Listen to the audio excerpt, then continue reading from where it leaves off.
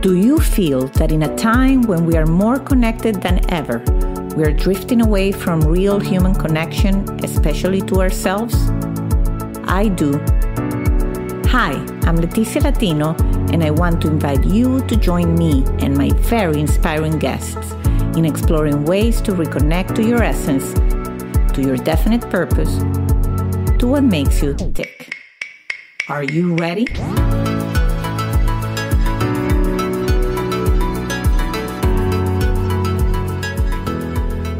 Hello, everybody.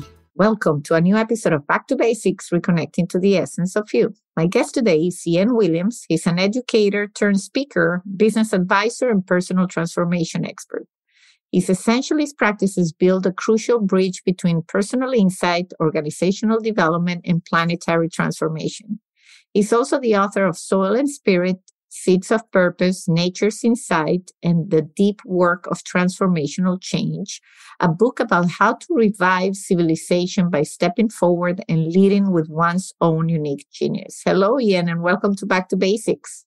Hello, Leticia. Thank you for the opportunity. I appreciate it. I'm very excited. Your book sounds, I mean, what a title.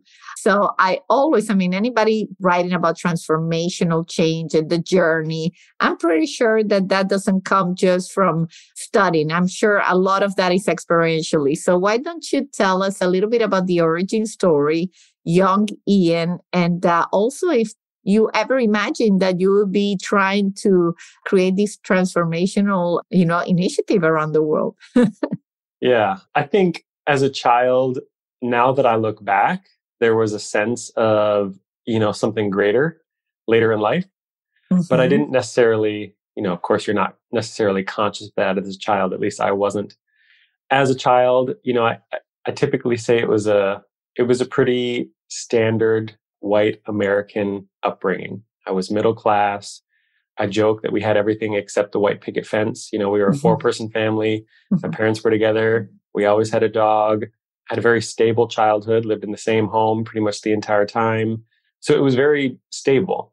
And that was wonderful. Uh, at that time in my life, there were seeds being planted of, you know, seeds of purpose in terms of connection with nature. My mother's a, a naturalist, really loves the outdoors.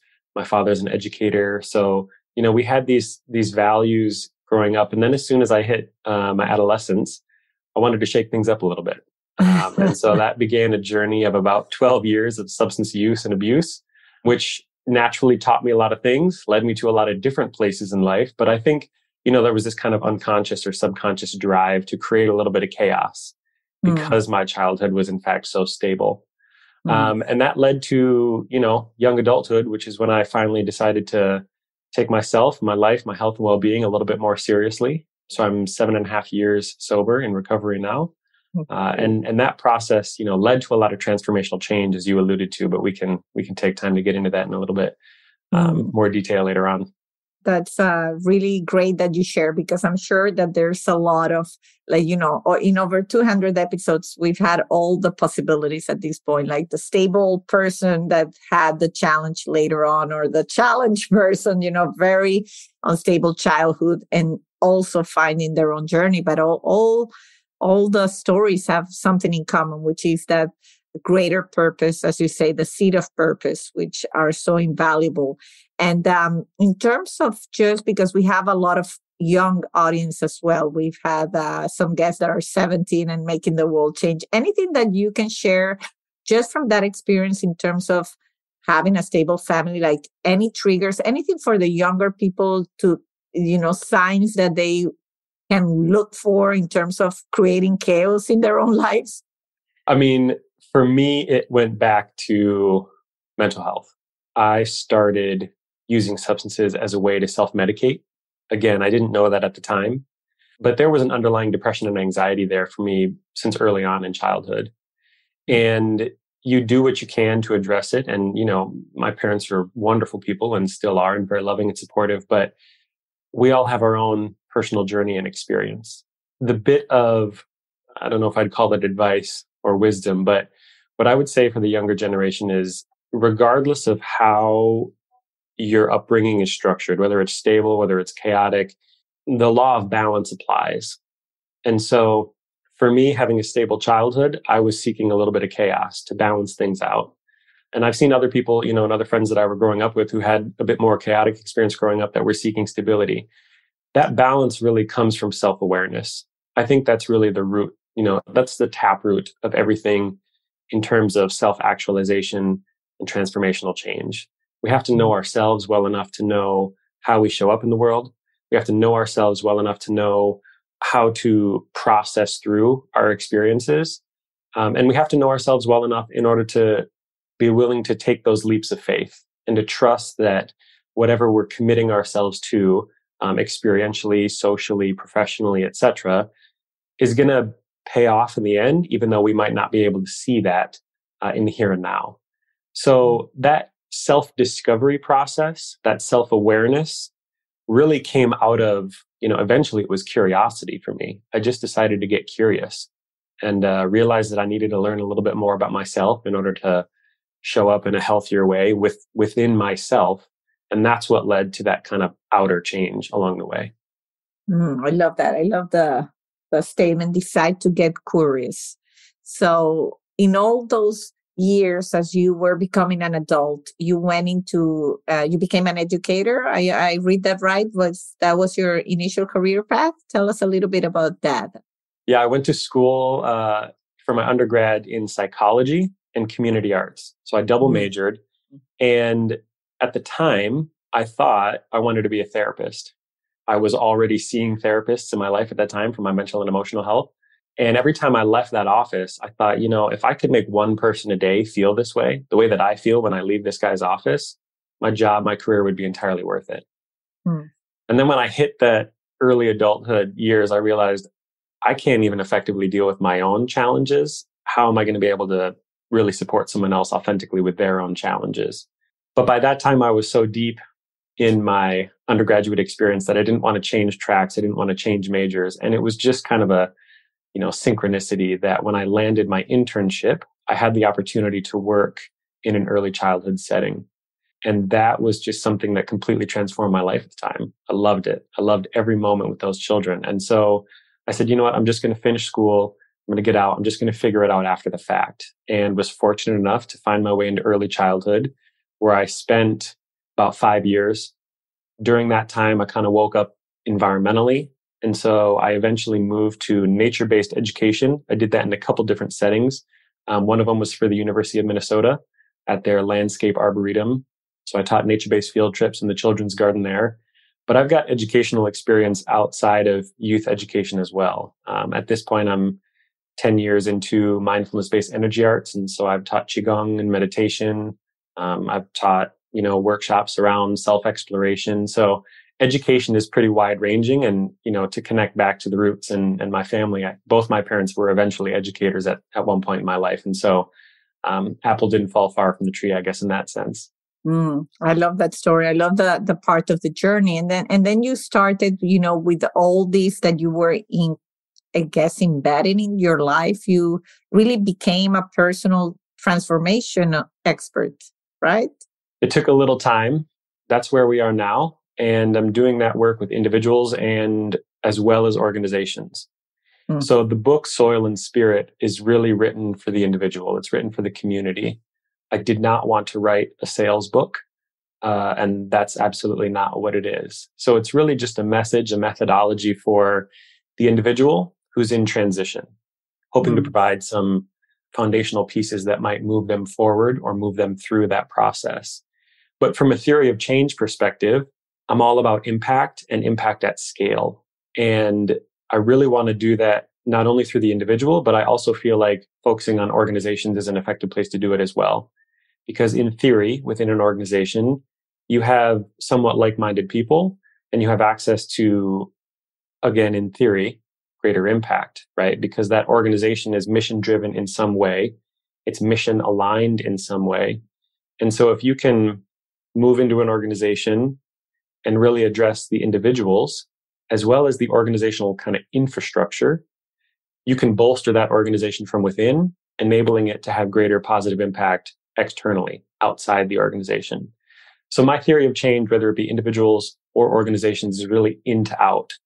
Uh, but yeah, that's that's the work that I'm doing now, and we could talk more about that process if you'd like, but Absolutely. Uh, I'm very curious. And, you know, I, I've had some guests and it's always, it's a conversation that it's, it excites me uh, in terms of becoming aware of the collective, like from me to we kind of conversation, which is really hard because it's, you know, it sounds nice, but then, you know, when you go into any business environment, big corporation, I mean, even creating small change, practical change, like saving money, you know, I'm in sales and you try to sell something that's going to save money. It's undeniable. And then people are so resistant to change, even with tangible results, something you can measure. Right. And so one of my biggest, let's say, fears, concern is like, if this is with something tangible, you know, like money, imagine like something like, you know, making the world a better place or just awakening to the way we should live as a collective, you know, and I, I feel uh, the pandemic was a little bit of that and you could feel it and you could sense it. And as we have moved away from it, even if still we'll have to deal with it, you, you don't feel it that much anymore. Like you can still see how we're going a little bit back to our old habits. I don't know if you would agree with that. Yeah, the the concept of change is an interesting one because there's this collective resistance to it. Mm-hmm. At the same time, if we really think about it, it's one of the few constants in life. Change is one of the only constants in life. It's always happening. And so, from an individual standpoint, to think about the desire to kind of control and have stability and have consistency is not necessarily at odds, but it's on the other end of the continuum of what's naturally happening around happening around us all the time, right? Yep. Um, and if you think about this from a physiological level, your body's changing, right? You're shedding skin cells, you're growing new cells, your neural networks are changing, the food you're eating is becoming your your physical body. Like change is constant. And so again, that balance is something that I think we really need to address and we need to be aware of if we're going to talk about systemic change at scale. You know, so to your point about organizations, there's a reason, there's kind of a method to the madness in the way that we work. Um, and it comes not only from evidence based practices, but it also comes from practical experience. So, those of us who have been employees in organizations before, we know what it's like to function on teams. And we know what it's like to deal with the challenges of an organizational infrastructure that's not fully optimized, right? This is clunky. Um, there's a faster way to do this, but we're not implementing it. We're just dealing with team dynamics in general, right? The social dynamic.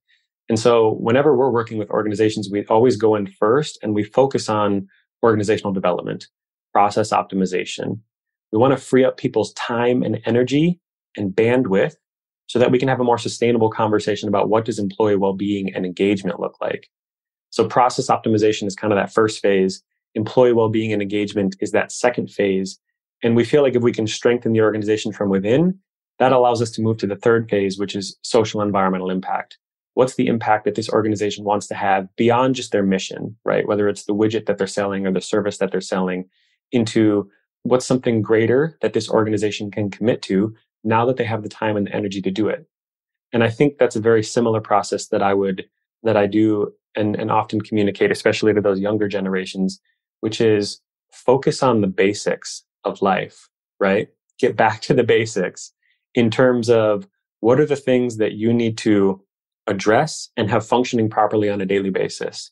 If you're struggling with your health, your mental health, your emotional well-being, your physical health, address those things because without those, you now have a moving target to try and pin down as you move into a conversation about well-being, you know, in terms of a more holistic sense of well-being. So we need to, we need to address the individual and what's going on in the internal landscape and find a way to just find a way to streamline it and get in touch with what's going on internally. Because again, the more self awareness you have internally, the easier it's going to be able to identify practical changes, tactical changes that you can make in your life that you will be able to equate to an outcome on the other side. Right. And I think that's a really challenging part about personal transformation is if we're constantly walking in quicksand, it's hard to know what action had what impact It's kind of like shooting from the hip in the dark. You don't really mm-hmm. know if you're hitting the target and tomorrow it might be different. So again, to draw the parallel between the individual and the organization, trying to just map out what's going on internally and optimize that from an efficiency and effectiveness standpoint allows us to have a more sustainable conversation about well-being.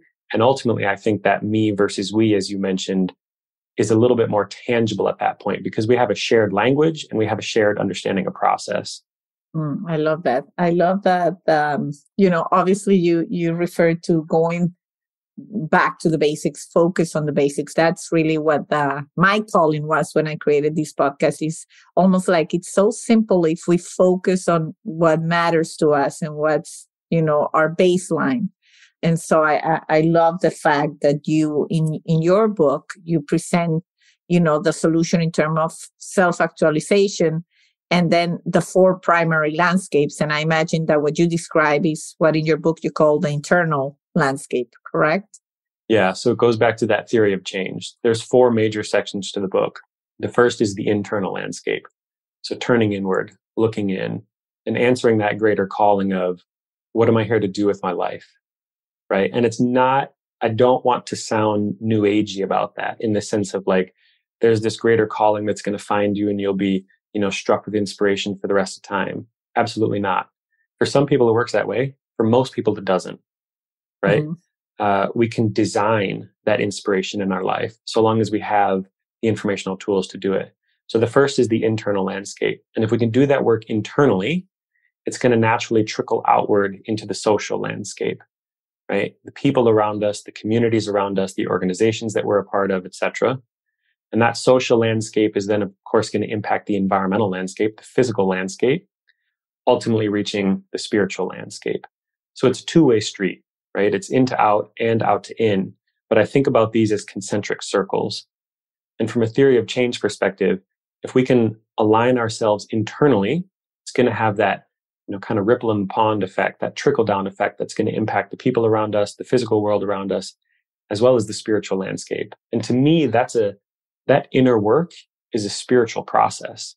Self discovery is a spiritual process because there are many self help gurus in the world there are many self-help theories in the world. But one of the lines in the book is all of the self-help theories in the book won't measure up to the, sign, the tiniest sliver of honest self-study. We're mm. individuals and we are unique. And so the basics are going to look different for all of us once we reach a certain point of customization, right? I mean, we all have physical health, mental health, emotional health, social connections. If you think about those domains of wellness, we all share those from a, you know, humanity and a species level. But once we drill down to the nitty gritty of the individual, we're going to apply, you know, you and I might apply the same meditation practice differently. We might apply the same physical health routine differently. And so there's this kind of crossing of the Rubicon that we need to be aware of because the answers that exist externally need to be translated internally.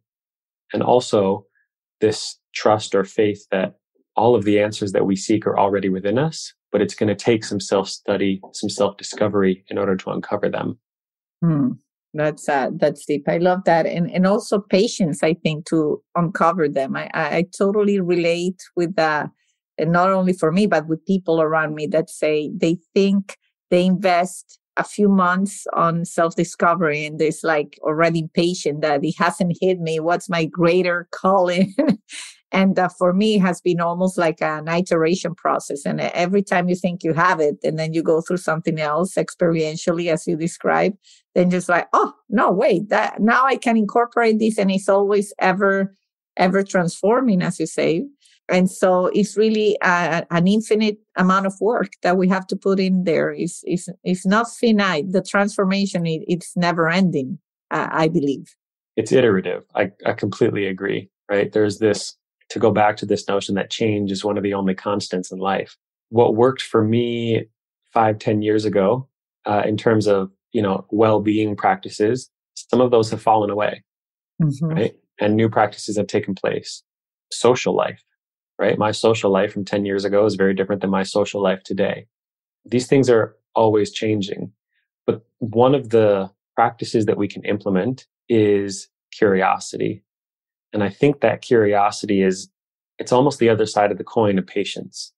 Because if we're outcome oriented and we're only doing the work in order to get a certain thing or to get to a certain place, it naturally puts us in a, a disposition that is not process oriented. It's outcome oriented.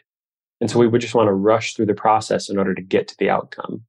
But if we can understand that the process is what is, is really the heart of the matter, and we can get curious about that process, it's going to bear more fruits than we initially thought at the onset of that journey. And so, you know, self awareness, curiosity, and to your point, patience. I think if you put those two, those three things together, you have a pretty powerful mixture. And that's for the individual as well as the organization, right? If an organization wants to know more about itself, more about its culture, it's got to commit to an authentic process of discovery. Because it's one thing to take the employee engagement, you know, surveys every other year. Great. Well, we did it this year and now we put it on the shelf until a year from now. But it's another thing to really, you know, roll the sleeves up and get the hands in the dirt and talk about how do we want to shift the culture and what's it going to take to do that? And how long is it going to take to do that? Because we'd like to think of it as a three, six, nine month process. But the reality is to shift culture in an organization, especially a large one, takes time. And it's not enough to just wrap new pretty words around, you know, the same old thing. We actually have to make those systemic changes. But doing that work automatically creates the outer impact. It's a, it's the, it's a default. It's a byproduct of doing the internal work. And work might be a trigger word for some people. You know, it is for my wife. I mm-hmm. use that mm-hmm. term inner work all the time. And she goes, I don't like to think of it as work because then it feels like it's something to do. And I totally get that. Right. So mm-hmm. insert whatever language you need in order to kind of connect with your own sincerity and your own authenticity. But that inner exploration is really something that is no one can take it from you. And also no one's going to be able to give you anything that is more impactful and powerful and moving than what you're going to discover for yourself. Amazing. And uh, so I'm curious, as somebody, as an expert in this field, uh, you know, you've written a book and you deal with organizations and, and, and you're trying, you're committed to trying to change, to make this change happen. Uh, what are you finding out out there? Are we can we be optimistic, pessimistic? Are we on a good track? Are we? I'm I'm just curious. Well, again, balance. You you brought up the pandemic a few moments ago, and one of the things that I continue to be excited about is that it felt like, and and still very much, we're in this period of kind of questioning the current paradigm, and we certainly have people who just want to go back to you know business as usual um, let's just reestablish the, you know, I don't want a new normal. I just want to go back to the old normal. Um, there's always going to be that resistance, right? For individual change, for organizational change, for societal change. There's, there's always going to be that. At the same time, there's a lot of wonderful people doing really exciting work. And there's a lot of wonderful organizations doing really exciting work. One of the industries that I try and focus on is um, climate change because that's something that I personally am passionate about. And if we want to address that grand challenge effectively, and we want to do it in the timeline that the science says we need to do it on, we need to scale these innovative solutions much faster. And so as someone who views themselves as, you know, somewhat of a capacity builder, working within those organizations, with those organizations, I'm fortunate enough to experience every week people who are just devoted to making the world a better place. And that is something that it is eternally motivating for me because it can be challenging some days to get out of bed when you have, you know, these existential crises looming. And it can be challenging to get out of bed some days when you're wondering, you know, how am I going to keep the lights on or put food on the table? And we need to remember that humanity exists on this continuum, right? We're always going to have people who are on every point of the continuum along the way. And it's not enough to, you know, have a one size fits all blanketed solution from a societal change standpoint because individuals are different. But to experience the people who have the privilege in many ways to be working on behalf of the environment or to be working on behalf of you know social justice initiatives people who are making those choices and able to devote their lives to it and, and sometimes pay the bills doing that work i think is something that again it's a motivator for me but it's also something that reminds me that there's still a heart to humanity. I personally don't get into very constructive spaces when I spend a lot of time thinking and focusing on, you know, the quote unquote negatives of the world. You know, and so I have people ask me often, you know, what do you think about all the people who don't believe in climate change? What do you think about all the, you know, people who don't believe in higher power or spiritual process? That is really not something that I spend a lot of time. I don't want to say it's not something I spend a lot of time thinking about, but it's not something that I, I invest a lot of emotional energy in. And the reason that I don't invest a lot of emotional energy in it is because in order to do my best work, I need to stay in a constructive headspace and heart space. Mm-hmm. Right. So you always take the good with the bad. There's always black and white. Right. And over the years, I've come to think about it less in that kind of dichotomous term and more on a continuum or a spectrum. Right. So one thing a teacher told me years ago was we need people out in the streets protesting and you know, challenging the current status quo. But we also need people on the other end of the continuum who are working to build new systems.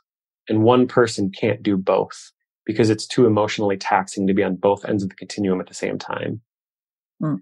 And that was a pivotal teachable moment for me to realize that, you know, at that time in my life when I was attending protests and I was out in the street and I was challenging the current system, I always felt a little I could be having a greater impact, but I didn't necessarily know how, how to do that. And so when I heard that from that teacher, it was the permission that I needed to say, actually, I'm really passionate. I'm here to build new systems. So what does mm-hmm. that look like? And that was, I don't know, seven, eight years ago at this point, maybe. And the last decade has been one of the richest decades of my life because I spend each day focused on what I can do as opposed to trying to all, address all of the things that are, you know, that are can'ts. So is there hope? Absolutely. Is there a lot of work to do? Hmm. Absolutely. And that's a big reason why I invested two and a half years of my life to put the book together.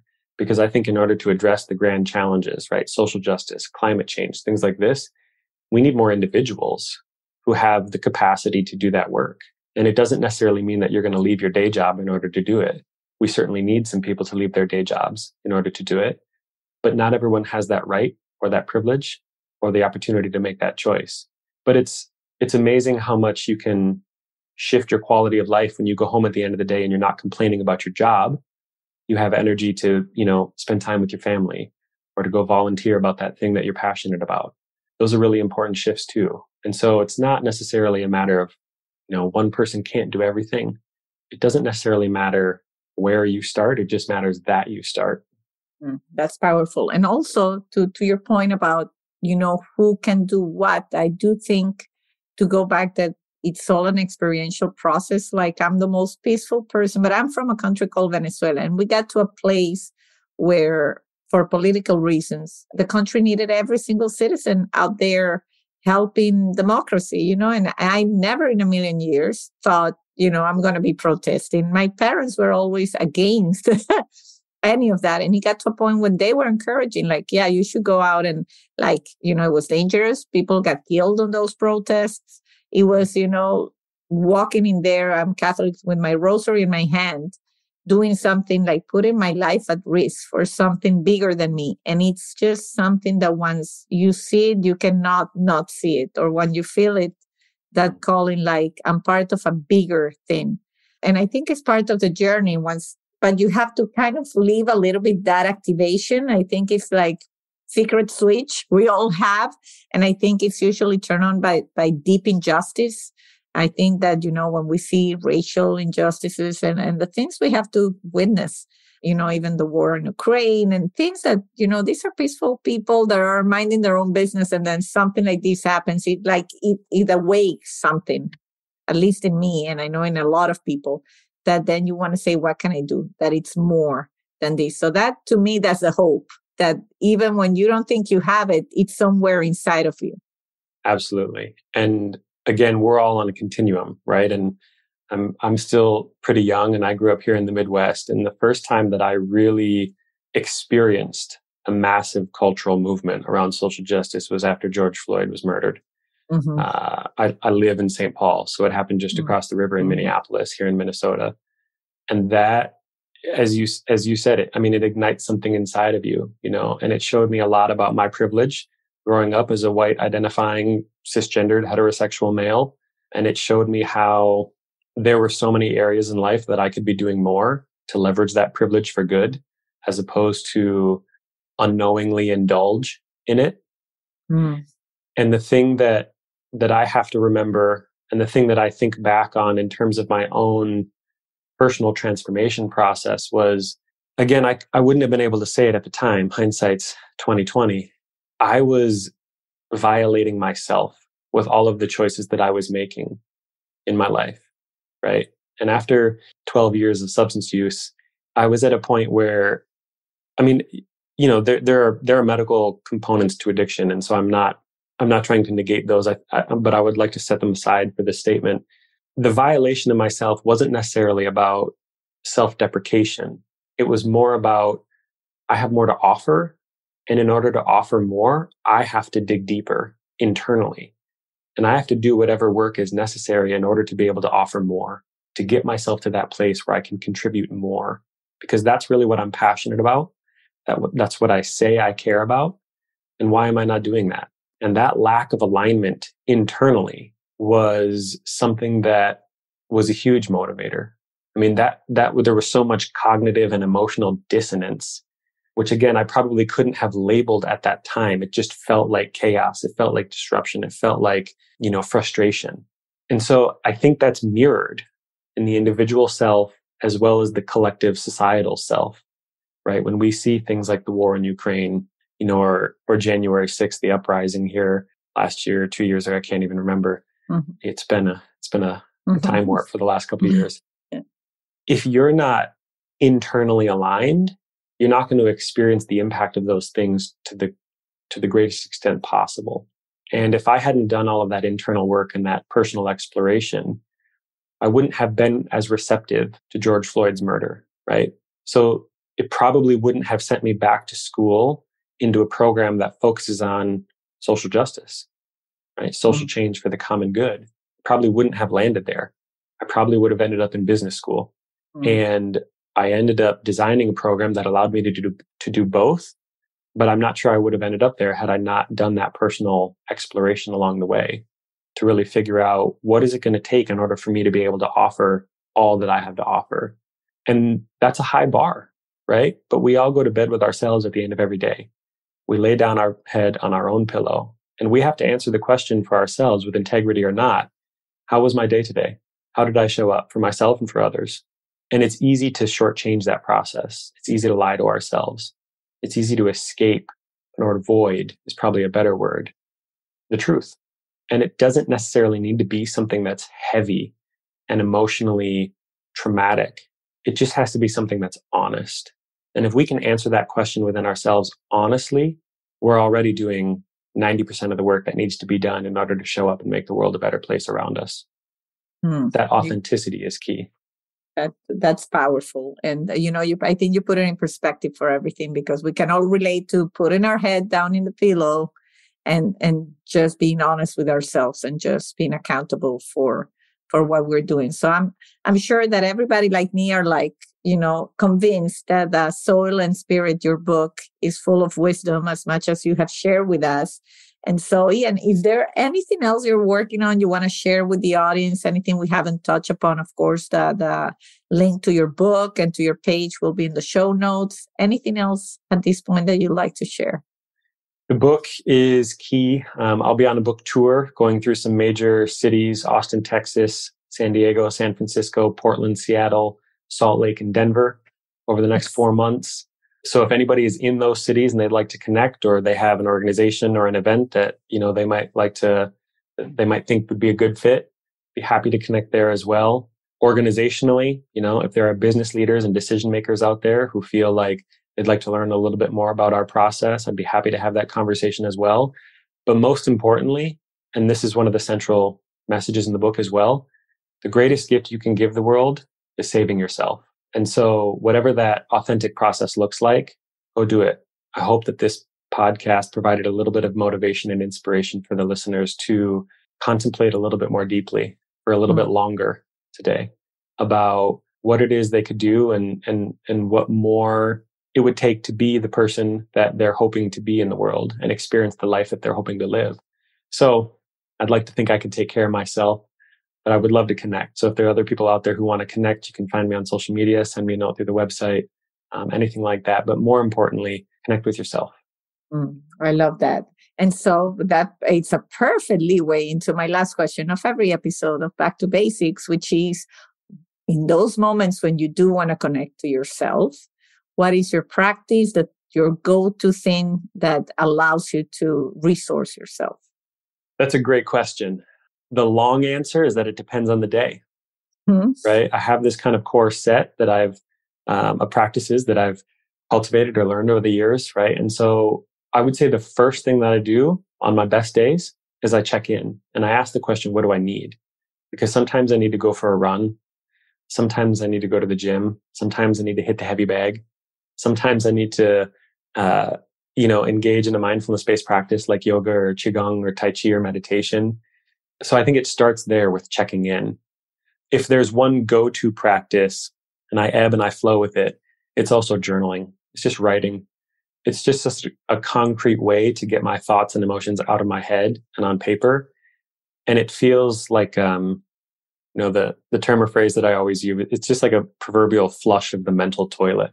Like I can just get it out of my head and onto paper. And if I want to revisit it, great. If I want to think critically or constructively about it, I can.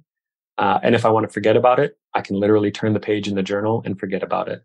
So I do a lot of writing but I also do a lot of body based practices. And again, on my best days, it just starts with what do I need today? Sometimes I need to, you know, lift heavy things, put them up and put them back down. Other days I just need to put on my shoes and just run. So again, starts with self awareness. Mm, that's that's a good one. I'll take that for myself. You do it, you do it subconsciously, but you don't think about checking in with your what do I need today? Because you know I'm a go getter, so I know there are days where I just want to stay in the, in the sofa and just like rest, which I never do. But there are those moments where I do check in with myself. I say, if I do this now, I'm gonna be better later. So then you have to force yourself to just do it. So, well, thank you, Ian, so much for being part of Back to Basics and for sharing your wisdom and your book with uh, our audience. Thank you so much for the opportunity. I enjoyed the conversation. Thank you. And to all you out there, until the next episode of Back to Basics. Bye bye. You've been listening to Back to Basics. You can follow us on Instagram and Facebook. If you haven't yet, subscribe rate and review this podcast on Apple Podcast or any of your favorite streaming platforms. This is the best gift you can give us. Join me next week for another Back to Basics conversation. And if you want to find out about other exciting things I'm working on, visit leticialatino.com. Thank you, and until the next time.